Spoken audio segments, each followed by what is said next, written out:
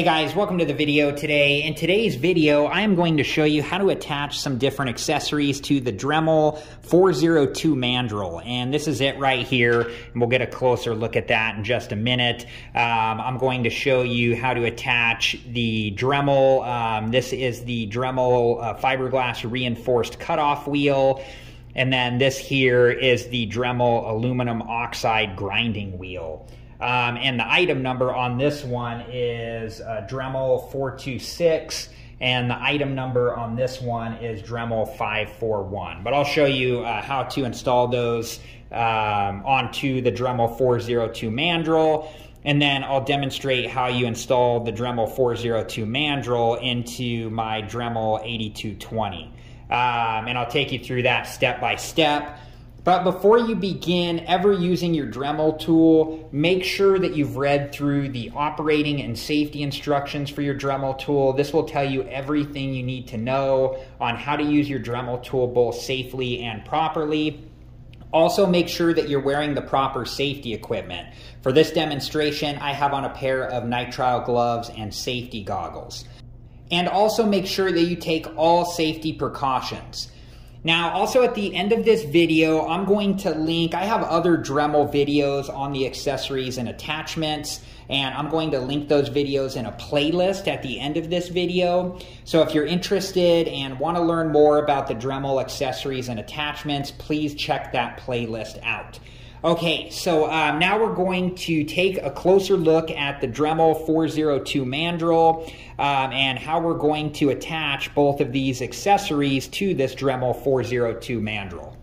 Okay, so the Dremel 402 mandrel, on the top here, um, there's a screw. It's a flathead screw. And you can use the wrench tool here on the backside. There's the flathead screwdriver.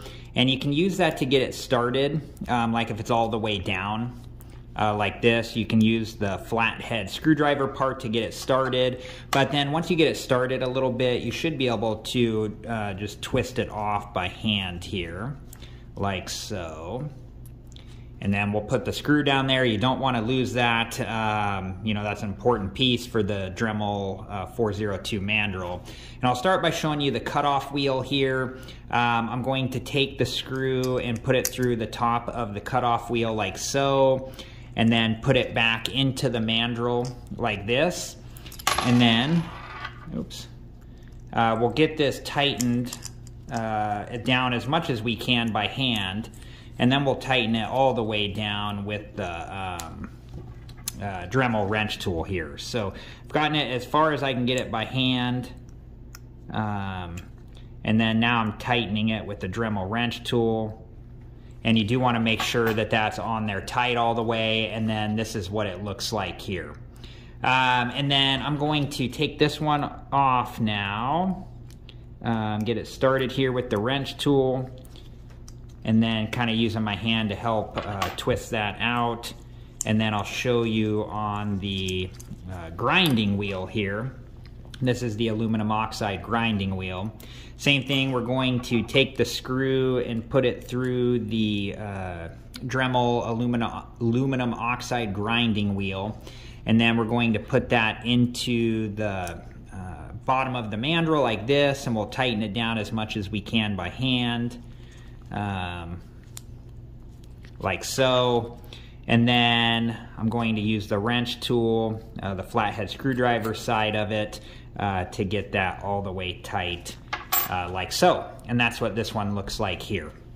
So um, now let me show you on uh, my Dremel 8220. Um, I'm going to get a better view here in just a second, but I'm going to show you how we attach this uh, to the Dremel 8220. And um, before you ever install or remove an accessory or an attachment to your Dremel tool, you need to make sure that it's both off and unplugged. And if you have a cordless model um, that has a battery in it, if the battery is removable, make sure that you remove the battery. Okay, so let me get a better view of the Dremel tool here and I'll show you how we now install the Dremel 402 mandrel. Okay, so the first thing we're going to do is make sure that the Dremel tool is off. And then this, uh, the Dremel 8220 has a removable battery, so I'm going to uh, press in on the sides of the battery here and then take the battery out and I'm just going to set that off to the side. Um, and now we can install uh, the Dremel 402 mandrel. So um, to do this, the first thing that we're going to do is, there, there's a couple options here.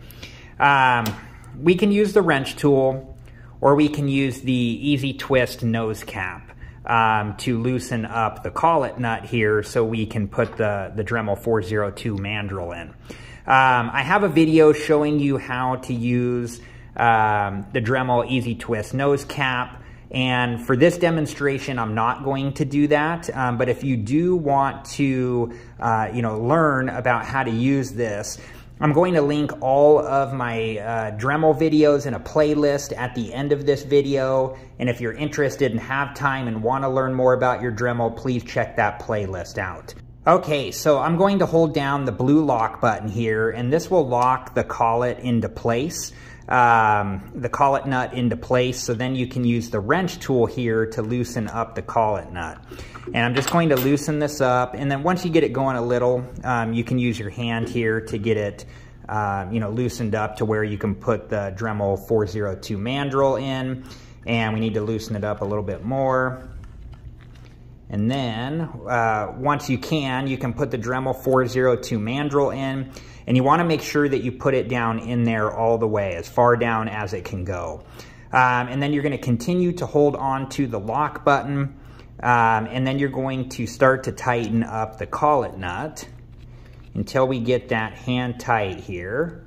And then I'm going to use the wrench tool here uh, to come in here and get the collet nut all the way tight like so.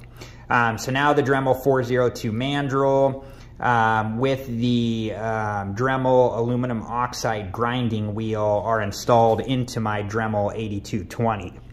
And now I'm just going to reinstall the battery. Um, I'll just put that back in here like so.